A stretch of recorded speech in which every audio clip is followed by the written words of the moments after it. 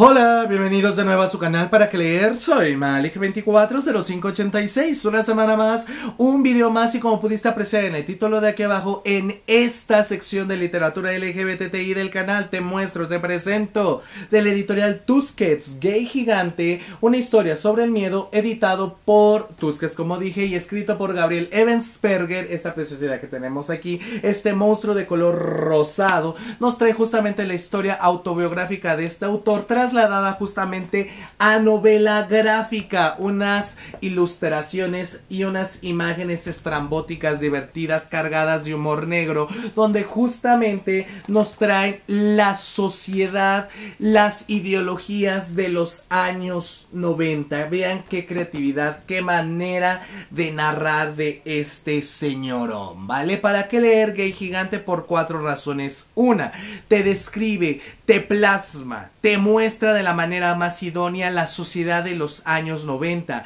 su cuestión sociopolítica, su cuestión cultural, qué ropa se usaba, qué coches circulaban por las calles, qué es lo que estaba bien, qué es lo que estaba mal, las ideologías acerca de la homosexualidad.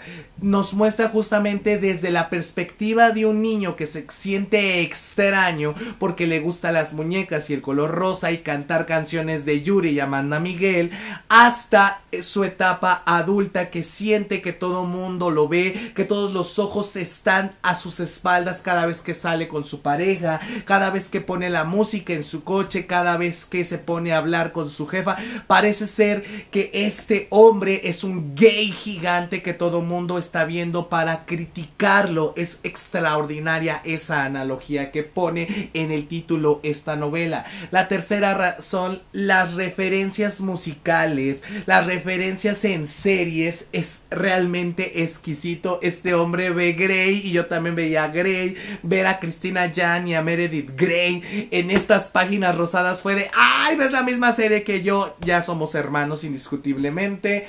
Y tú dices, qué manera de fraternizar. Es una historia que puede ser bastante lúdica, bastante creativa y hasta un tanto interactiva con el lector, ya que vas a llegar en momentos de la trama donde te van a poner un karaoke o donde te van a decir que este personaje estaba viendo tal evento. Y tú lo puedes buscar en internet, puedes buscar en YouTube la canción y cantar con ese personaje que tú dices, güey, qué qué genialidad, muy, muy, muy acertado por parte de Gabriel Evensperger y te muestra perfectamente definido ese preámbulo del niño que se siente extraño al adolescente que se está explorando y al adulto que se siente solo. Muy bien, Gabriel, perfectamente. Puntos negativos que le encontré a Gay Gigante.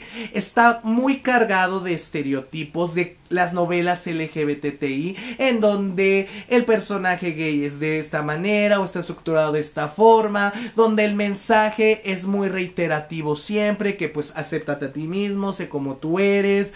Yo sentí que el final de la novela o el final de esta historia es muy abierto. Sin embargo, el autor te da una fotografía al final que va a hacer que tú te imagines o tú crees justamente el desarrollo de donde se quedó hasta el momento de su vida. Que tú dices, bueno, te está dejando que seas creativo, pero lo sentí un poco desangelado. Y había momentos entre los capítulos que redundaba bastante y tú decías, no me estás aportando nada diferente a tu historia de vida personal. Siento que pues es lo mismo, lo mismo, lo mismo y no veía estos momentos álgidos dentro de la trama, ¿no? Y sentía en ocasiones que la trama se tambaleaba, ¿ok?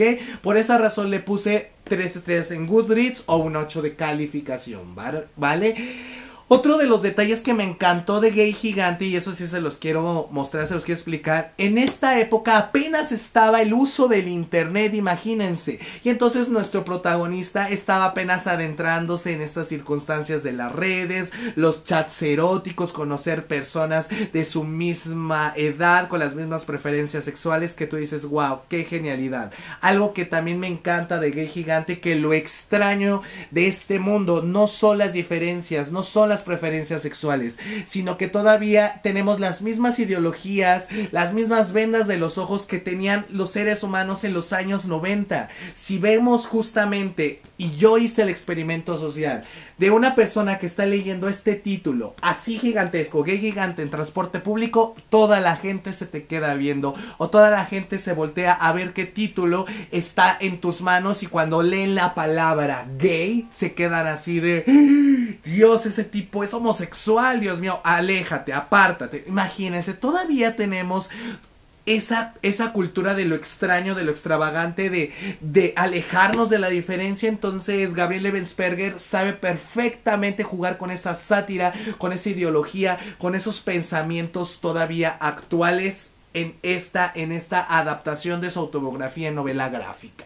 muy recomendable para las personas que están iniciando dentro de la, literatura LGBTI, sobre todo la literatura gay y sobre todo también en historias de corte autobiográfico o novelas gráficas. Créanme que este libro te va a sacar momentos bastante, bastante chistosos, te van a sacar una carcajada, te van a sacar una sonrisa, porque tú dices, sí, así me ha pasado en ocasiones, ¿vale? Algo que también me encanta, cómo juega con el lector, porque si tú te das cuenta, hasta trae una otra portada donde dice camuflaje para homosexuales para que puedas pasar desapercibido entre los heterosexuales y dices fatídico pero genial, fatídico pero genial, muy muy muy chispeante tiene esta novela, tiene tiene chispa, tiene magia, tiene ángel gay gigante de Gabriel Evensberg. Y pues bueno, ¿de qué va? Pues es la historia de Gabriel, que te muestra justamente que desde niño se sentía extraño, se sentía raro, sentía que todo el mundo lo observaba, pues justamente se sentía gigante, ya que no pasaba desapercibido en su escuela y en su familia, hasta que pues empezó a dar cuenta que le gustaban los chicos, el acceso a internet en esta parte adolescente, sus primeros besos, sus primeras caricias, el despertar sexual, te muestra justamente cómo conocer la masturbación, que tú dices, wow, genial, y justamente esa etapa adulta, cómo es lidiar con con jefes, cómo es lidiar con la soledad, de no encontrar novio, que todos tus exnovios son unos patanes desgraciados, rameros inverecundos escandiles, que acerca pues que en ocasiones son bastante promiscuos, cómo se come una pizza, cómo se queda viendo Netflix o viendo las series estando solo con su soledad, literalmente dada la redundancia, y te muestra justamente hasta el dibujo con él y su soledad, que es es fascinante, se los juro, es, es extraordinario. Vean, aquí está hablando con su soledad, no sé si se puede apreciar, ahí está la soledad y él, es, es que es genial, es genial y hasta las caras de, ah, yo otra vez fútbol. Hay reacciones dentro de la novela que muchos la hemos hecho, entonces te vas a sentir con una fraternidad, vas a sentir que estás conociendo a un amigo cuando estés leyendo Gay Gigante, ¿vale? 8 de calificación, 3 estrellas en Goodreads, se les recomiendo bastante y espero les haya gustado esta nueva reseña. Se despide ustedes Juan Carlos, el administrador de Para qué leer. Hasta la próxima y adiós.